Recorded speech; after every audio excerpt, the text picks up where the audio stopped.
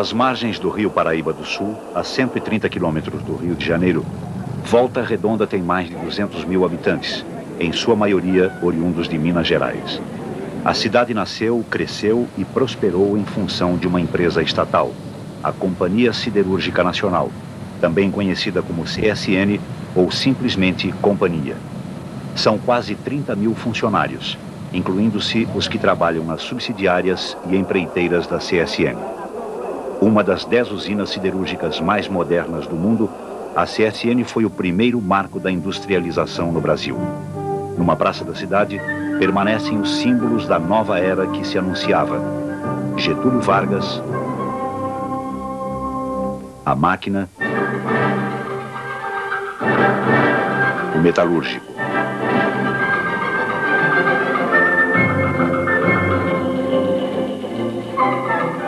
O hino da Cidade do Aço, cantado pelo Coral Municipal, também fala desses símbolos. Brasil, Brasil, Brasil, tu estás aqui no bloco aço, crescendo na grandeza do compasso,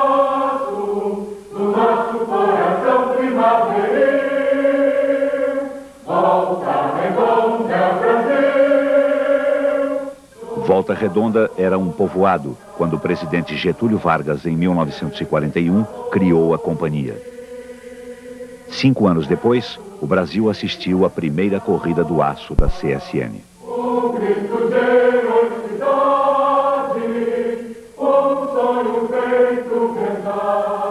Em maio de 1989, a Associação dos Aposentados de Volta Redonda reuniu operários que viveram os anos heróicos da construção da usina.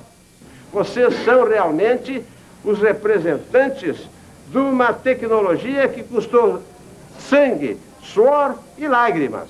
Zé Armando, conta pra mim, quando é que o senhor entrou na companhia?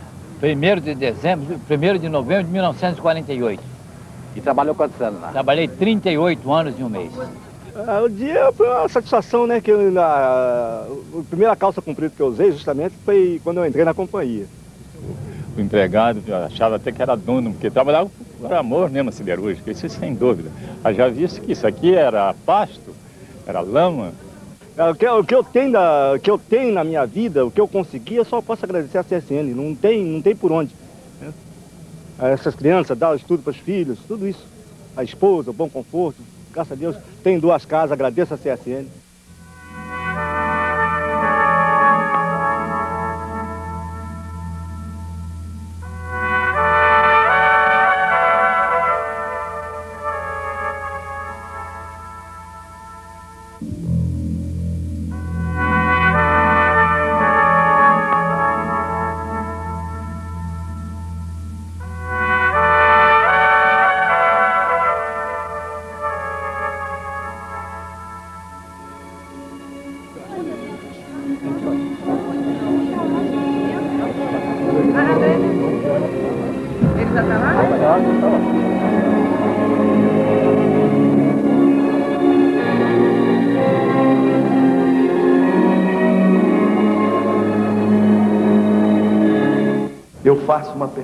Pergunta clássica a você.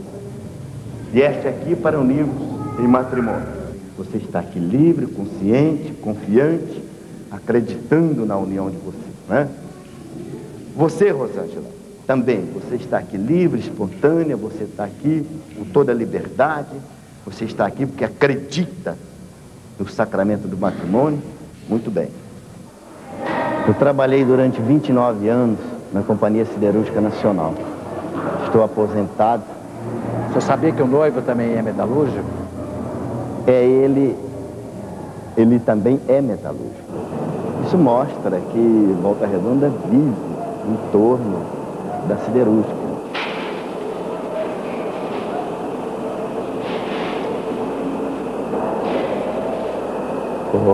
Coração Santo,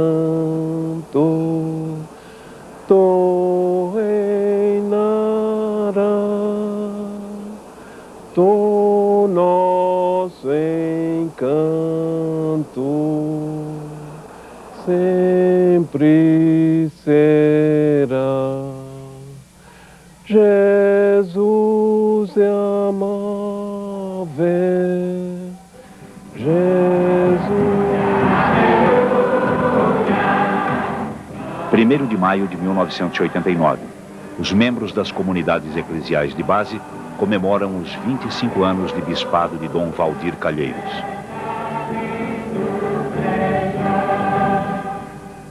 Esta caminhada que eu assisti, que estou acompanhando com vocês nestes anos, só me leva hoje a agradecer a Deus. Eu acredito que a sabedoria divina está nos revelar constantemente que é esta preferência de Deus pelos menores, pelos perseguidos, por aqueles que estão roubados na força do seu trabalho, por todos aqueles que são vítimas da opressão. Quando hoje, é uma confissão que eu faço, quando hoje a gente tem um sindicato que é respeitado no mundo inteiro, se deve muito a Dom Valdir. Porque quando os trabalhadores queriam se reunir e não tinham onde se reunir, porque o sindicato fechava as portas aos trabalhadores, Dom Valdir abriu a igreja. De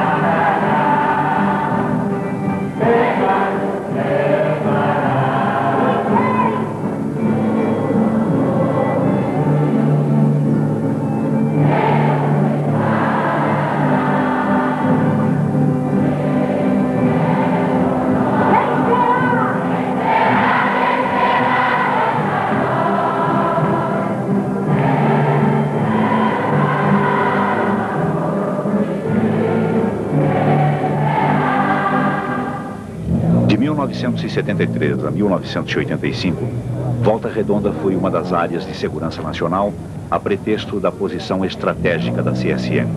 Mesmo assim, no final dos anos 70, o movimento operário começou a ganhar força. Em 1983, uma chapa de oposição encabeçada por Juarez Antunes conquista a direção do Sindicato dos Metalúrgicos. No ano seguinte, os operários fazem a primeira greve da história da siderúrgica. No dia 7 de novembro de 1988, os operários da CSN iniciaram nova greve. Eles reivindicavam a jornada de seis horas, a anistia aos demitidos em outras greves e a recuperação das perdas salariais. A uma semana das eleições municipais em todo o país, os grevistas eram liderados por Juarez Antunes, presidente licenciado do sindicato, deputado constituinte e candidato a prefeito de Volta Redonda pelo PDT. Um cinegrafista amador gravou a assembleia que decretou a greve, assim como vários outros episódios do movimento. Quem quer a greve segunda-feira, levante o braço. Segunda-feira,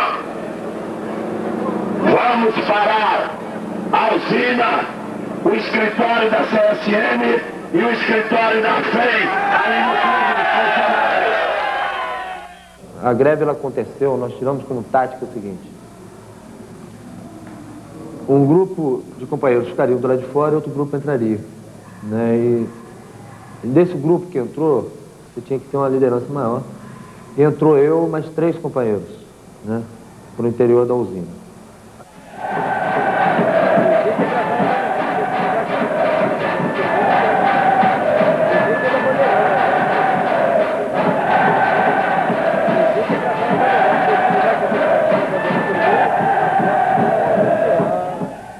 Mandado judicial em nome do restabelecimento da ordem e da defesa do patrimônio público autorizou a intervenção do Exército na CSN. Desde 84 eh, já tinha essa ameaça de se invadir a usina pelo Exército. Né? E a gente, a direção do sindicato sempre evitando isso, evitando, evitando. Mas o Exército humilhou muitos trabalhadores de Volta Redonda, nessas cinco outras entradas do, aqui na usina. Humilharam mesmo, sabe? Com a prepotência, com a arrogância, com humilhação. E os trabalhadores não estavam mais dispostos a bancar essas humilhações. No segundo dia de greve, entrava na usina uma tropa de Barra Mansa, cidade vizinha de Volta Redonda. Em campos opostos, se encontraram este operário e seu filho, que prestava serviço militar em Barra Mansa. Nós tivemos de cara a cara lá dentro da usina. Mas logo estava no, no meu setor de serviço, no PMS, ali no pátio de sucata, ouvi meu filho, entendeu? Longe assim? Não, ele estava assim, de perto daqui, onde a porta aqui, daqui na porta, distância assim. E, e o que, que você fez? Olha, só falou para ele, ele correspondeu, mas lá eu não podia, né? Porque tinha uns comandos, né? Não, não poderia ir lá. Ah, a maior parte dos soldados que estavam lá servindo, né, no ano que eu servi, que foi esse ano drástico dessa greve, né, tão pesada, maior parte deles tinha parente na companhia. Primos, tio, né, irmão, estavam lá trabalhando. Mas quando deram a ordem de ir para a usina, que podia haver esse, esse confronto, vocês comentaram, os colegas do... Comentamos bastante, ó. Comentamos porque, pô, já pensou, um soldado dá um tiro no pai do outro, ou um soldado dá um tiro no meu pai, vai ficar, pô, o sentimento do cara vai, vai a unha, né, pô, vai ficar abalado. Vocês brincavam com isso? Brincava, se matar meu pai, mata você também. No dia 9, terceiro dia de greve, novas tropas do Exército chegavam à Volta Redonda, decididas a dissolver as manifestações na porta da CSN e a retirar os operários da usina. Dentro e fora da siderúrgica, as assembleias davam continuidade ao movimento. O clima de confronto se aguçava.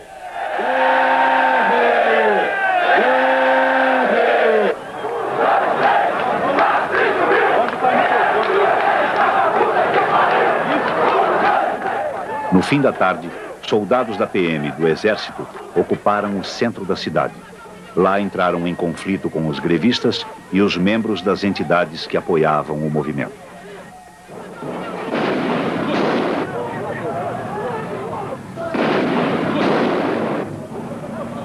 Então a gente começou a correr, cada um para um lado, e a polícia também se dispersou correndo para trás da gente, começaram a atirar, jogar bombas de, de efeito moral, gás lacrimogêneo, pela, pela, pelo centro da cidade todo. Aquele pessoal todo que não sabia por quê, começou todo mundo a correr, a se esconder, cair no chão.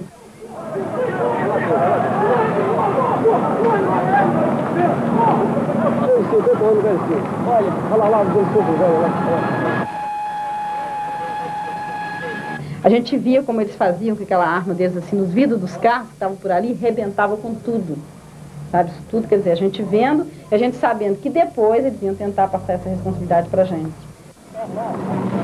Pô, que vandalismo, cara. Eles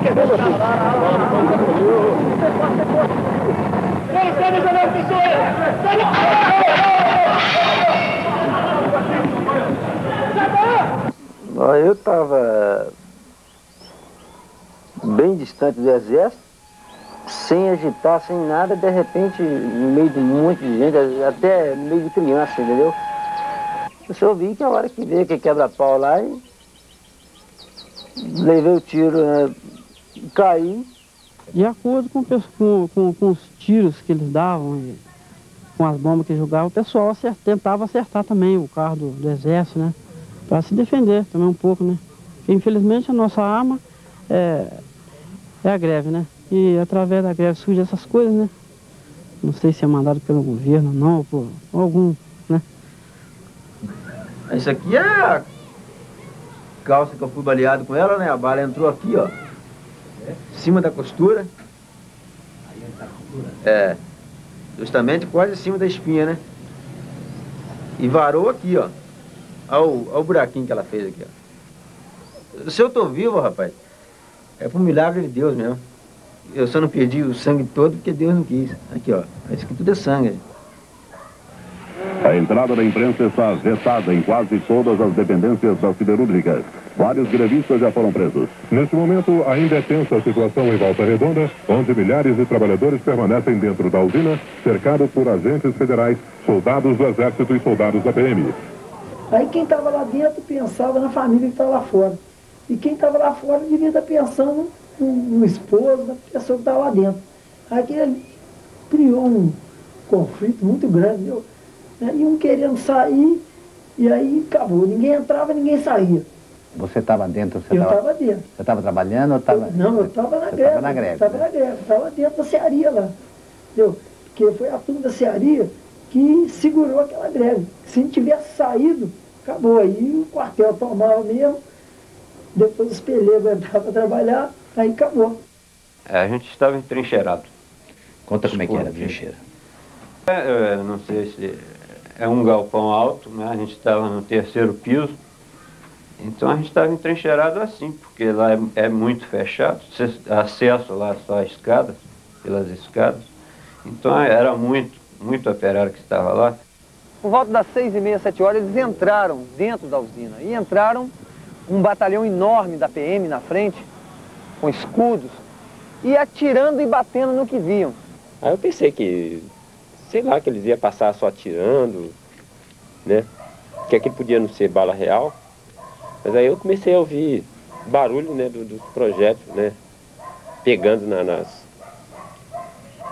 Pegando na, na, nas colunas, né? Nas, nos galpões. Nesse que eu olhei, que estava cheio de soldado, que eu vi eles e, e gritaram atacar, eu virei. Eu virei para correr. Nem eu virar para correr, e aí eu levei o disparo. Foi quando eu levei aquela pancada. Nem, nem é disparo, eu sei que eu levei aquela pancada aqui e aquela explosão. Acho que eu dei muita sorte, sabe? Acho que. Deus. Eu tava apavorado demais, eu tava. Muita gente começou a chorar e começou a sair assim, se entregar. E aí nesse lance aí tem uns caras que é mais corajoso um pouquinho, né? Já chegou lá e aí uns começou a jogar, jogar gasolina em cima dos carros, pôr fogo, já que eles estão mandando pra cá, os caras começaram a jogar pedra pra lá, e pedaço de ferro.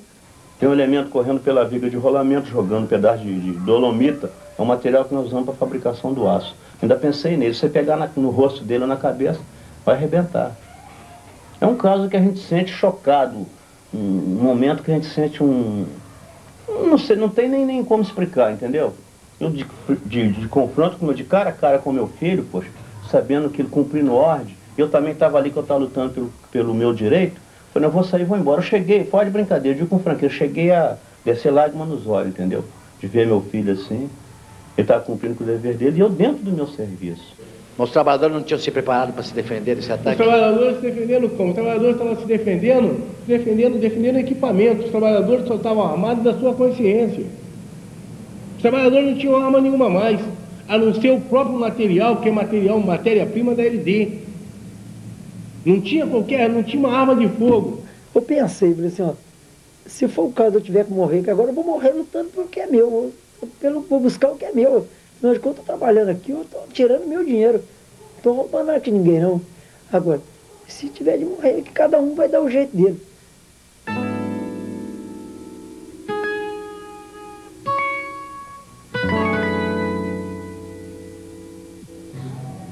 O Valmir morreu mais de medo, tenho certeza. Ele deve ter tentado correr e, né?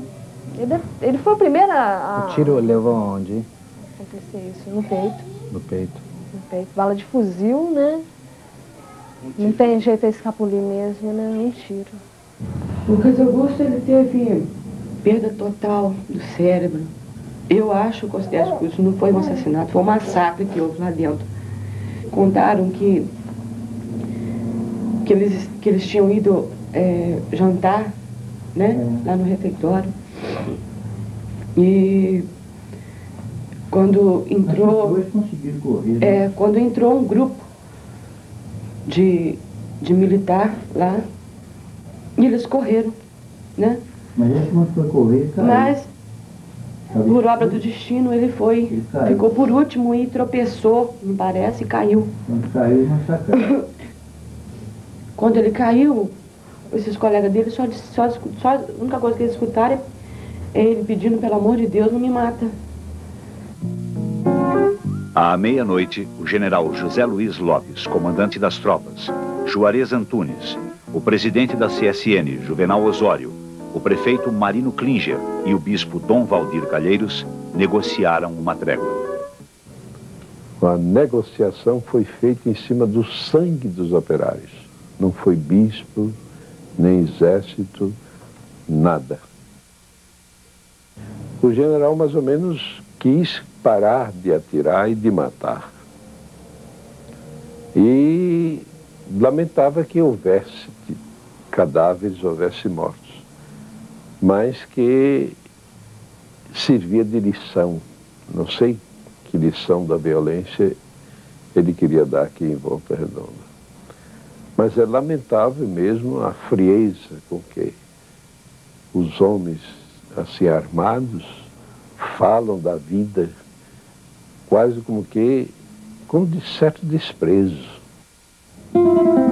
De acordo com os termos da trégua, os operários abandonariam a usina ao nascer do dia e não sofreriam represálias.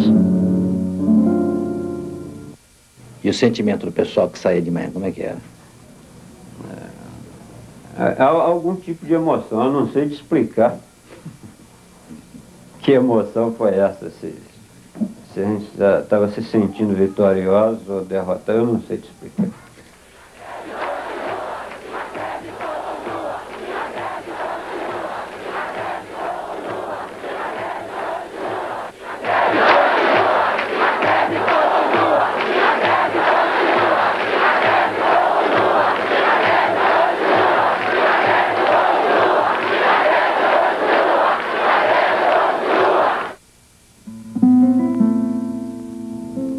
Operários saíram da usina, o balanço das vítimas ainda estava por ser feito.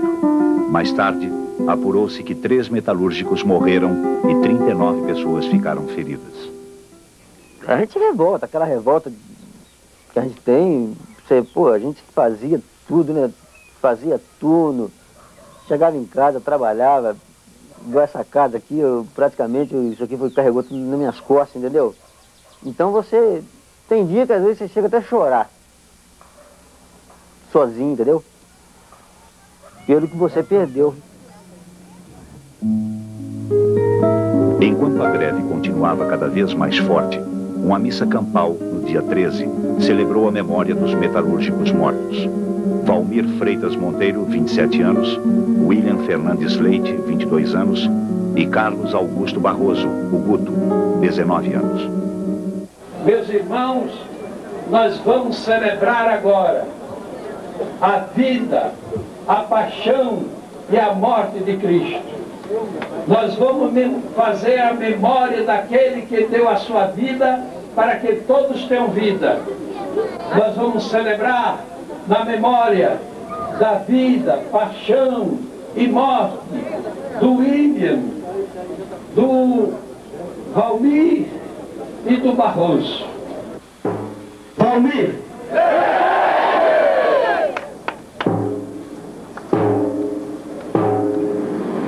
William!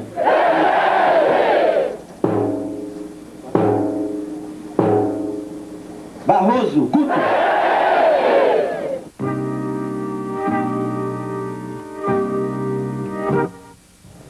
Que não devia ter acontecido de jeito nenhum, né? Matar um trabalhador. Não foi assassino, foi marginal, matar foi trabalhador. William! Companheiro Valmir! Companheiro Barroso! Quando eu entrei para identificar ele, tinha aqui embaixo dele, não era pano. Aquilo era sangue mesmo. Foi quando eu pude constatar né, que era ele, porque eu fui mais para ver o, o problema que ele tinha no pé. Sabe? Que ele, tinha, ele nasceu com, com um defeito, com os, três dedos colados, e fez a cirurgia, mas ficou perfeito, né? Então, qualquer coisa, se houvesse alguma coisa que não pudesse identificar, pelo pé dava, né? Então eu fui para ver isso. Então eu quis ver o pé dele, para ter certeza se era ele mesmo ou não. Depois da greve, a partir do dia 9, você podia dizer mais ou menos do seu ponto de vista como é que foi para manter os 17 dias de greve? Ah, foi. O, o sindicato conseguiu mobilizar a categoria. E mesmo porque aí, aí, sim havia uma revolta pela perda dos três companheiros. Aí eu acho que isso aí é que, que levou mesmo a categoria a aguentar esses 17 dias. Aumentou a força da greve. Aí, sem dúvida. Quer dizer, foi uma greve que foi forte. Foi uma greve que ela não precisava nem de piquete nos bairros. Porque se alguém viesse buscar um companheiro que estava em casa, a própria esposa se encarregava de dizer, ele não está aqui. Sabe, a própria esposa é, desvaziava o pneu da Kombi. Povo unido não será vencido.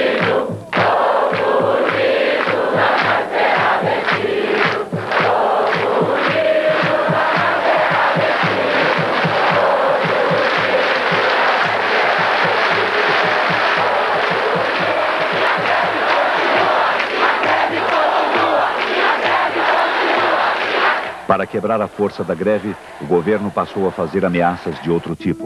O ministro da Indústria e Comércio, Roberto Cardoso Alves, assustava a população de Volta Redonda com propostas de privatização e até extinção da CSN. No dia 21, 15º dia de greve, a Frente Popular Sindical, formada pelas entidades que apoiavam o movimento, respondeu às ameaças convocando toda a população de Volta Redonda para um ato simbólico, o abraço da usina.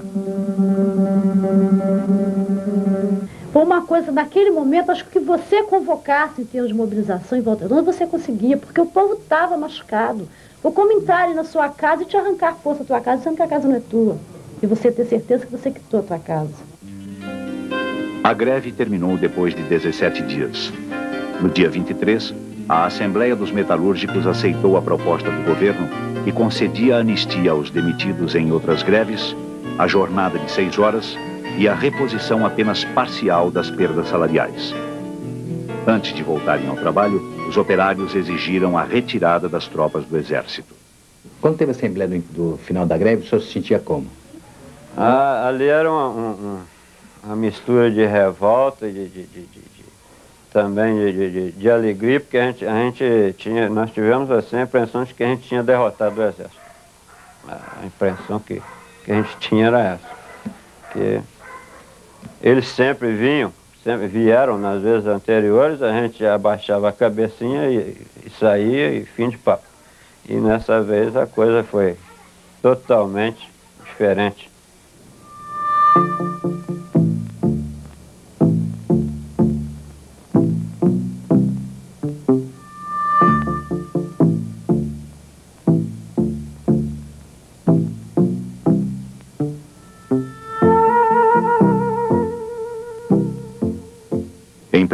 Janeiro de 1989, Juarez Antunes foi empossado como prefeito de Volta Redonda. No mês seguinte, Juarez morre num acidente de carro suspeito quando ia para Brasília.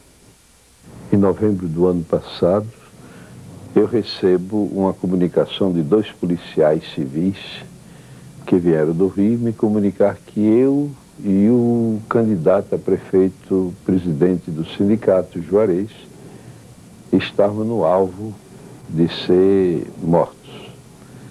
E que provavelmente seria por acidente automobilístico fora de Volta Redonda, a fim de despistar. O senhor tem a impressão de que foi um acidente ou de que foi um. Mas é muito difícil provar que foi acidente. E mais difícil provar que não foi acidente. O enterro de Juarez foi o maior da história de Volta Redonda.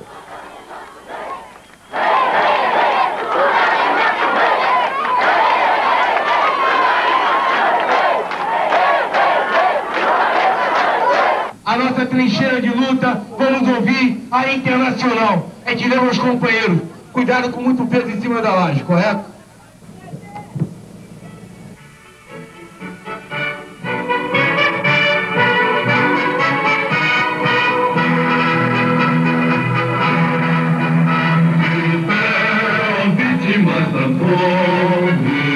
É,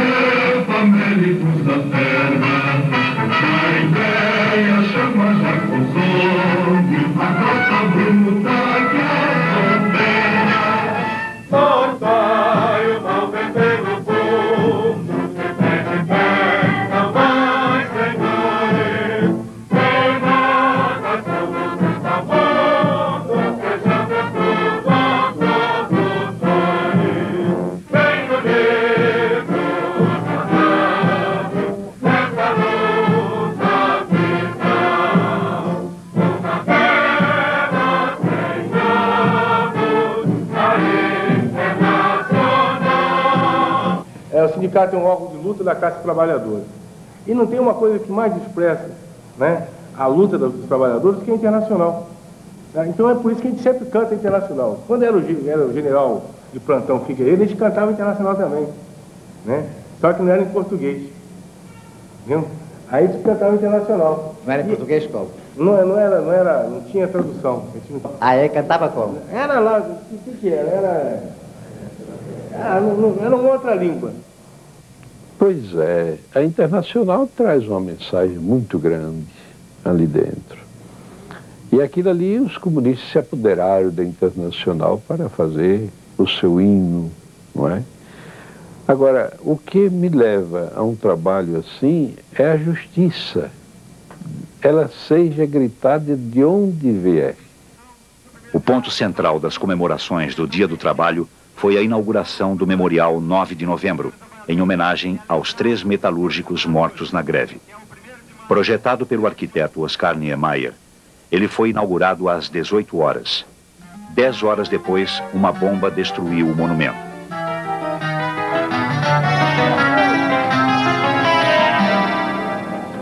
A gente espera, tem esperança, é muita esperança mesmo, que esse inquérito não fique como o inquérito do Rio Centro.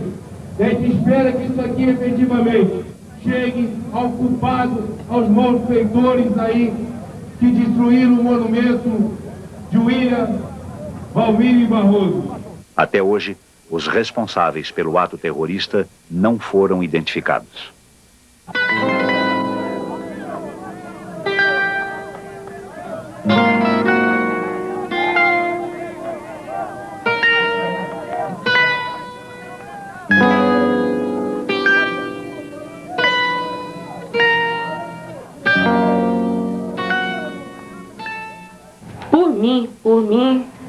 Precisaria disso, sabe? Não precisaria de memorial, bastava a lembrança do povo que foi tão grande, né? Mas é, o- é o que a gente comenta aqui, é que a lembrança e a memória dos três, inclusive meu irmão, não pertence só mais a gente, né? Pertence, pertence à Volta Redonda, pertence ao Rio, ao Brasil, ao mundo inteiro agora, né? Foi um- um- uma morte que, infelizmente, a gente não queria, mas uma morte que vai servir de exemplo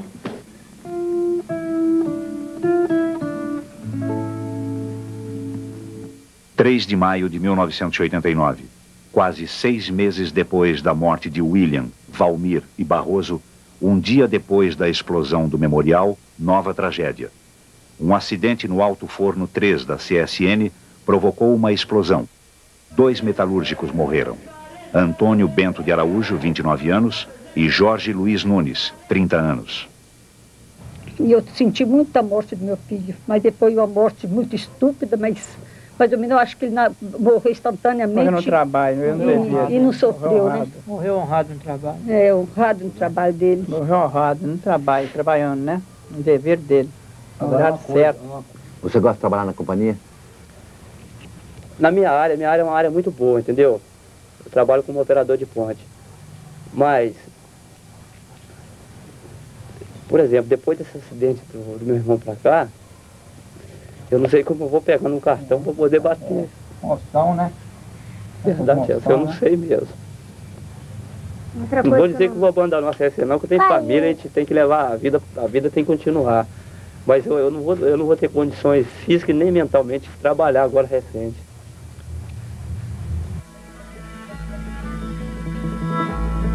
Esse acidente apenas agravou uma crise financeira que começou no início dos anos 80. A causa principal dessa crise é a política de preços do governo federal, que vem sacrificando as estatais a fim de combater a inflação. Hoje, o preço do aço no Brasil corresponde à metade do preço no mercado internacional. Por causa dessa política, a CSN, com uma dívida atual de mais de 2 bilhões de dólares, está ameaçada de privatização ou extinção. Em maio de 1989, quando este vídeo foi gravado, os metalúrgicos de Volta Redonda passaram a dar prioridade à luta pela recuperação da Companhia Siderúrgica Nacional. Se não houver um investimento maciço do governo na empresa, é, nós vamos caminhar para o suicídio. Nós vamos caminhar para o caos dentro da empresa. A não ser que ele queira levar a empresa para a privatização, para a entrega dela ao capital estrangeiro, ao capital... Olha, é uma... é tentar dar um golpe na história. Porque, embora eles não reconheçam, a gente tem um amor muito grande pela empresa. Isso não, não, não tem nem dúvida. Não há dúvida na categoria que a gente quer preservar a CSN, isso não há dúvida. Né? Eles não acreditam nisso, como não estão acreditando. Mas isso. Então, por isso, por esse motivo, que a gente quer preservar a CSN, como estatal também,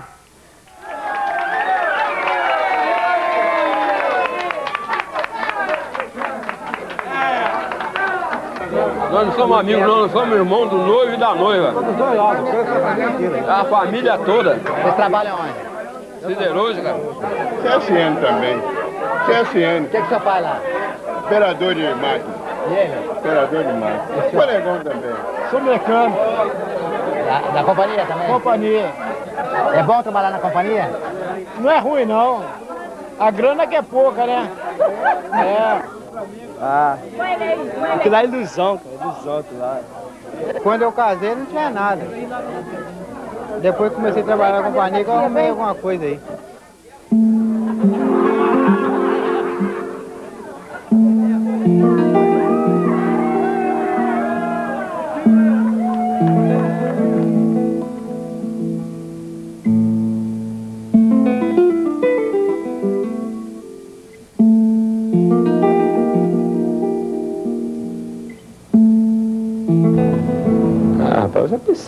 Pensei, eu já pensei algumas coisas. Já pensei até mesmo pro meu filho, por exemplo, esse que é o mais velho, né? Eu já pensei mesmo nele, para ele ser metalúrgico, né? Mas hoje em dia eu não penso não. Então, hoje em dia a gente está meio assim, a gente está meio seguro até no, no, no, próprio lugar, né? De repente a gente precisa até sair daqui. Porque é, já foi um tempo que a gente se considerava assim, trabalha na CSN, né? Ele se considerava estabilizado. Né? Então você podia pensar, você podia fazer, ter alguma coisa na cabeça, né? Pensar na criança entrar para uma escola que tem aqui na região, se, se profissionalizar, essas coisas assim, né? Agora, de uns tempos para cá,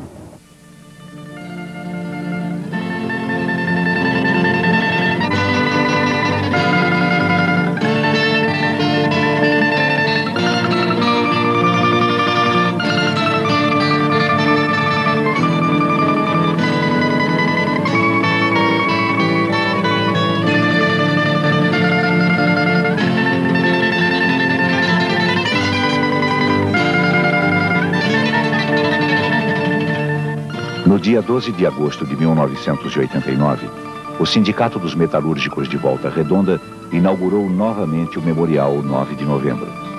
Ao invés de reconstruí-lo como era, o sindicato preferiu deixar visíveis as marcas do ato terrorista de 1 de maio. Antes da inauguração, grupos de extrema-direita ameaçaram explodir de novo o monumento. As ameaças continuam.